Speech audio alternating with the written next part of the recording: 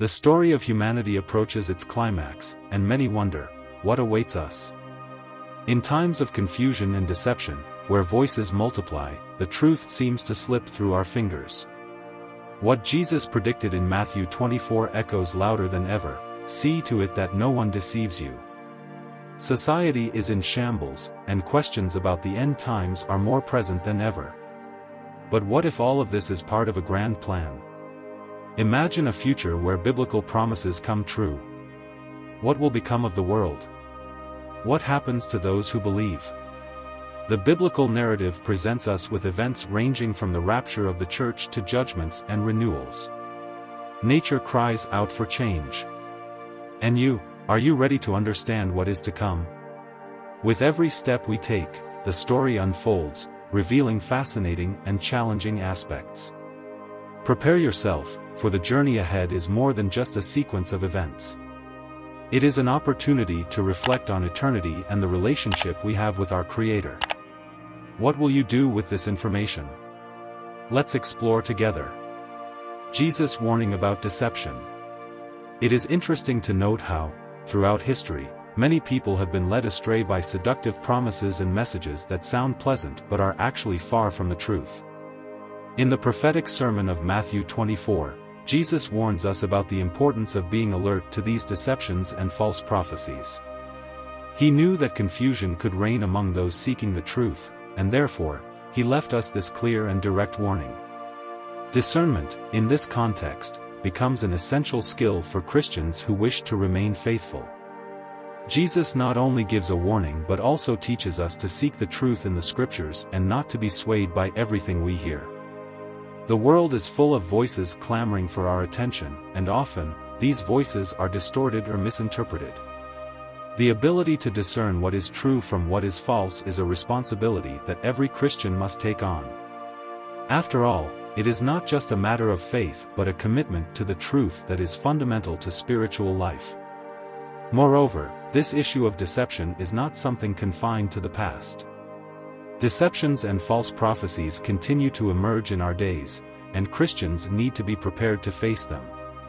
This involves continuous study of the Scriptures, a life of prayer, and the pursuit of a deeper relationship with God. Only then can we recognize the voice of the true shepherd and not get lost amid so many distractions. The prophetic sermon is a call to vigilance. Jesus exhorts us to be alert and not easily influenced by words that do not align with the message of the gospel. This warning is not meant to scare us but to encourage us to seek the truth diligently and to stand firm in the faith. In a world where truth is often distorted, Christ's appeal remains relevant and necessary. Finally, deception is a subtle trap, and it is easy to fall into it if we are not attentive. Therefore, the call to vigilance is an invitation to responsibility. Every Christian must commit to seeking the truth, delving into the scriptures, and discerning wisely the voices we hear. In this way, we can remain firm in the faith and avoid the deceptions that surround us. Final Events of History When we talk about the final events of history, we enter a territory that provokes both curiosity and fear. The chronology of these events is fundamental for us to understand how everything connects and culminates in what the Bible describes as the end times.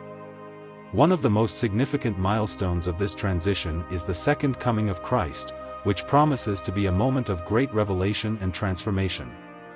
For many, this is a hope that lights the way, but also a reminder of the seriousness of spiritual life.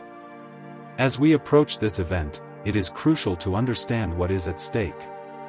The Bible gives us clues about what to expect, from signs that precede Christ's coming to the preparation we must have in our hearts. It is a moment that should not be treated with disdain or indifference but with a spirit of expectation and readiness. The transition to eternity is not just a change of state but a new reality that unfolds with all its implications. The importance of being prepared for these events cannot be underestimated. The Christian life is a continuous invitation to sanctification, to seeking a closer relationship with God, and to being willing to listen to His voice. When the final events unfold, it will be a time when the faith of many will be tested. Those who have dedicated themselves to growing in faith and preparing for this moment will have a special place in the divine narrative.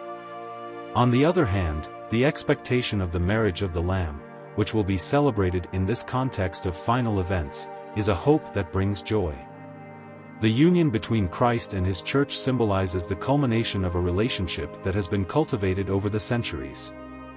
This celebration is not just an event but a milestone that reminds us of God's love for us and the promise of an eternity by his side. The transition to eternity, therefore, is not just a matter of time but of relationship. It is an invitation for all of us, so that, while we await the fulfillment of these promises, we can dedicate ourselves to living in a way that reflects the light of Christ in our lives. In this way, we will be ready not only to witness the final events but to actively participate in the glorious realization of the divine plan. The Marriage of the Lamb The marriage of the Lamb is an event surrounded by deep and symbolic meanings, as described in Revelation 19. Imagine the scene, the church, represented as a radiant bride, prepares to unite with Christ, the bridegroom. This union is not just a festive moment but a symbol of the intimate relationship God desires to have with his people. The bride, dressed in fine white clothes, represents the purity and holiness expected of all those who surrender to Christ. Therefore, the preparation for this event is not trivial it is a call for the faithful to seek sanctification in their daily lives. Sanctification, in turn, is not just an isolated act but a continuous process. It is an invitation for every Christian to deepen their relationship with God, seeking a life of prayer, study of the Word, and fellowship with other brothers and sisters in the faith. Thinking about the marriage of the Lamb leads us to reflect on the state of our own hearts. Are we ready for this meeting? Preparation involves not only an inner transformation but also an active commitment to God's mission in the world. The joy of this moment is palpable, and it is a time of celebration, where victory over sin and death is finally recognized. Just as in a wedding, where love is celebrated, the marriage of the Lamb symbolizes the culmination of God's love for His church. This event is a milestone that reminds us that the story does not end in despair but in hope and redemption. Therefore, as we contemplate this image, we are encouraged to live with expectation, knowing that one day we will stand before our bridegroom, celebrating eternity together.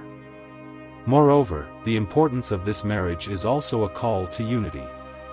The bride, composed of all believers, is a testimony of the diversity and unity that the gospel promotes. Regardless of our differences, we are called to unite around the love of Christ. This union brings a sense of belonging and purpose, reminding us that we are not alone on the journey of faith. Finally, the marriage of the Lamb offers us unwavering hope. In a world full of uncertainties and anxieties, this promise of eternal union with Christ strengthens us. By living with this hope, we are motivated to act in a way that reflects the character of Christ in our lives, seeking to be light in the midst of darkness. Thus, Preparation for this marriage is not just a future expectation but a reality that shapes our present. The Second Coming of Christ and Armageddon The Second Coming of Christ is one of the most anticipated events in the Christian narrative, and its importance cannot be underestimated. Many Christians believe that this coming will be a moment of justice and restoration. Christ will return not only to claim his bride but also to establish his kingdom definitively. This return is often associated with the Battle of Armageddon, a moment of confrontation between the forces of good and evil, which will have profound prophetic significance. It is essential to understand the distinction between the rapture of the church and the second coming. While the rapture is seen as an event in which the faithful will be taken up to meet the Lord in the air, the second coming is the moment when Christ will descend to earth to reign. This marks a crucial point in the history of salvation, where divine justice will be fully manifested. Many wonder what that day will be like, the expectation is of a glorious return, where every knee will bow and every tongue will confess that Jesus is Lord. The Battle of Armageddon, in turn, represents a climax in the spiritual struggle between the forces of good and evil. This is not just a physical conflict but a spiritual battle that reflects the eternal struggle that unfolds in the lives of each of us. When we think of Armageddon, we are led to reflect on our own inner battle against sin and temptation. What is at stake is more than a confrontation at the end of time, it is a call for us to stand with Christ in our lives. Moreover, the prophetic significance of this battle is a warning to all of us. It reminds us that history is not being written randomly but has a divine purpose. Each of us must be aware of our role in this grand plan. The scriptures encourage us to remain firm in the faith, even in the face of adversities and temptations that surround us. This is a time of vigilance and preparation, where our trust in God must be unwavering. Finally, the second coming of Christ offers us hope and a glorious future. In a world full of uncertainties and chaos, this promise reminds us that we are not alone and that history will culminate in a triumphant conclusion. The expectation of this return should motivate us to live lives of integrity, love, and service, knowing that we are collaborating with God in the building of His kingdom, both now and in eternity. The great earthquake and the judgment of the nations. Imagine a day that will become a milestone in human history, a day when the earth trembles with unprecedented force, what many call the Great Earthquake. This catastrophe will not be just a simple geological alteration but a clear sign of divine judgment upon the nations. The biblical accounts give us an apocalyptic vision of this event, emphasizing that nothing we have seen compares to this manifestation of God's power. It is as if creation itself is preparing for a moment of revelation, where the structures that sustain the world will be shaken. In the valley of Jehoshaphat, the scene becomes even more intense. It is in this place that the nations will gather to be judged. The idea of a judgment of the nations may seem like a distant concept, but the Bible assures us that this event is not just symbolic. Every nation will have to account for its actions, especially in relation to Israel, which occupies a central role in the biblical narrative. The judgment is not just about behaviors but about the stance of each nation before the truth and justice of God. It is interesting to note how responsibility toward Israel is a recurring theme in the scriptures. The nations that supported or persecuted God's chosen people will face direct consequences. This raises questions about how nations behave today in relation to Israel and what that means for the future. Will the decisions made now have eternal repercussions? The biblical answer seems to be a resounding yes. The choices made in the present will echo throughout eternity.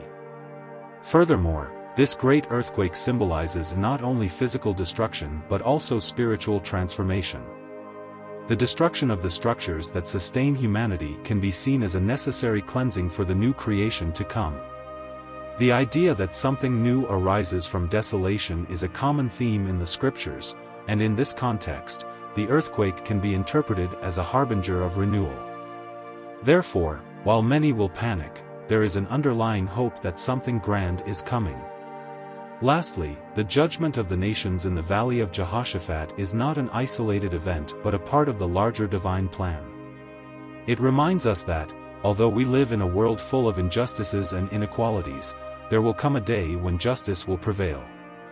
This day of judgment will bring to light the truth about the intentions and actions of each nation, showing that, in the end, what really matters is how we live and how we treat one another, especially in relation to those whom God has called his people. The fate of the Antichrist and Satan. When we talk about the fate of the Antichrist and Satan, we enter a dark yet essential narrative in the story of salvation. The Antichrist, a figure representing the ultimate opposition to Christ, will have his judgment decreed. The Bible is clear in stating that he and the false prophet will be cast into the lake of fire, a symbol of eternal condemnation. This is not just a momentary defeat, it is the closure of a cycle of deception and rebellion against God that lasted for centuries. The fall of the Antichrist is a relief for many souls who suffered under his influence. However, we cannot forget Satan, the adversary himself. After the defeat of the Antichrist, he will be imprisoned for a thousand years. This imprisonment is not just a security measure but an opportunity for creation to experience a time of peace and justice. It is a moment when the influence of evil will be removed, allowing humanity to live in a state of harmony with God. This expectation of a millennium of peace is a theme that gives hope and encouragement to the faithful. During this period, many will wonder what it truly means to live without the presence of evil. It is a chance for humanity to experience true freedom, a freedom never seen before. The absence of Satan will allow people to turn to God in a more authentic and profound way. This time of reflection and spiritual redirection will be crucial for humanity's preparation for what is to come. The imprisonment of Satan also has an element of restorative justice. The idea that evil will be contained and that truth will prevail is a fundamental principle in the biblical narrative. Throughout history, many have questioned God's goodness in the face of pain and suffering. This event serves as a reminder that God does not ignore evil, but that in his time, he will bring justice. The victory over evil is an essential part of the story of salvation, and the fate of the Antichrist and Satan is a symbol of this victory. Finally, the condemnation of the Antichrist and Satan is an act of hope for all those who long for justice and vindication. It is a reminder that, despite the difficulties and deception that permeate the world, there is a divine plan in motion that will culminate in the restoration of all things. This outcome represents not only the defeat of evil but the confirmation that light will always prevail over darkness. And so, dear ones, we come to the end of this first part on the end of history and the beginning of eternity. What an incredible journey, isn't it? As we reflect on these events, it is crucial that each of us asks ourselves, are we truly ready for what is to come? The Bible warns us about deceptions and distractions, but it also offers us hope and a glorious future with Christ. Think about this, how can we better prepare for that great day? What can we do to be light amid so much darkness? Remember, every action counts, every word preached is a seed planted. And, of course, don't forget to subscribe to the channel and activate the notification bell so you don't miss any updates. Our next meeting will be even deeper, where we will continue to explore the chronology of events that will shape eternity. In the meantime, how about sharing this video with friends and family? Let's spread together the message of hope and transformation that only Jesus can bring. And don't forget, the Word of God is living and effective. May it light our way until the glorious day of His coming. Stay with God.